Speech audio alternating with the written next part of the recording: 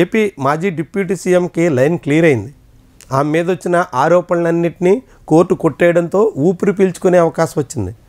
ఆమె ఎస్టీ కాదంటూ వేసిన పిటిషన్ని హైకోర్టు కొట్టేయడంతో ఇప్పుడు పాముల పుష్పశ్రీవాణికి పెద్ద ఉపశమనమే దక్కింది.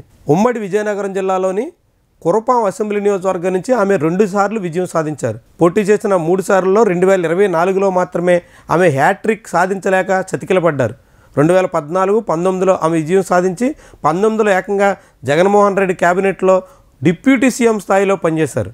ఆమె మీద ఎస్టీ కాదంటూ ఆమె అసలు కొండదొర కులానికి చెందినటువంటి మహిళే కాదంటూ అనేక విమర్శలు వచ్చాయి. పశ్చిమ గోదావరి జిల్లా జంగారెడ్డిగూడెం డివిజన్ చెందినటువంటి ఆమె మీద అనేక ఆరోపణలు కూడా వచ్చాయి. వ్యవహారం కోర్టు వరకు వెళ్ళింది. నిమ్మక జయరాజు టీడీపీ నాయకుడు వేసినటువంటి పిటిషన్ మీద హైకోర్టు విచారణ జరిపింది. అక్కడ పార్వతీపురం మన్యం జిల్లా కలెక్టర్ ఇచ్చినటువంటి స్క్రూట్నీ కమిటీ రిపోర్ట్ ఆధారంగా ఇప్పుడు ఆమెను ఎస్టీగా తేల్చారు. ఆమె ఎస్టీగా కన్ఫర్మ్ కావడంతో ఇప్పుడు ఆమెకు అడ్డంకులు తొలగిపోయినట్టు అయింది ఆమె మీద వచ్చినటువంటి అభియోగాలు తుడిచిపెట్టుకుపోయినట్టు అయింది అయితే ఇంతటితోనే ఆమెకు ఉపశమనం దక్కిందా?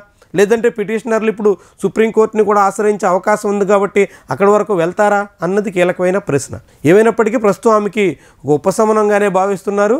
తనకు కులపరమైనటువంటి అడ్డంకులు లేవని తాను ఎస్టీ కాదంటూ ఇన్నాళ్ళుగా చేస్తున్నటువంటి విమర్శలన్నింటినీ తిప్పి కొట్టినట్టు అయిందని ఆమె వ్యాఖ్యానిస్తున్నారు. పార్వతీపురం మన్యం జిల్లాలో కురపం అసెంబ్లీ స్థానంలో ఆమె కుటుంబానికి గట్టి పట్టుంది. ముఖ్యంగా ఆమె భర్త పరీక్షిత్ రాజ్కి నియోజకవర్గం అంతా విస్తృతమైన నెట్వర్క్ ఉంది. ప్రస్తుతం ఆయన పార్వతీపురం మన్యం జిల్లా వైఎస్ఆర్సీపీ అధ్యక్షుడిగా ఉన్నారు. అలాంటి నాయకుడికి ఇంట్లో అడుగుపెట్టినటువంటి పాముల పుష్పశ్రీవాణి ఇప్పుడు ఎస్టీ కాదన్నటువంటి విమర్శలన్నింటినీ పక్కకు పెట్టేసి కోర్టు తీర్పుతో ఎస్టీ హోదాలో కొనసాగుతున్నటువంటి తరుణంలో ఆమె వచ్చే ఎన్నికల్లో మళ్ళీ పాగా వేయాలన్న సంకల్పంతో కనిపిస్తున్నారు.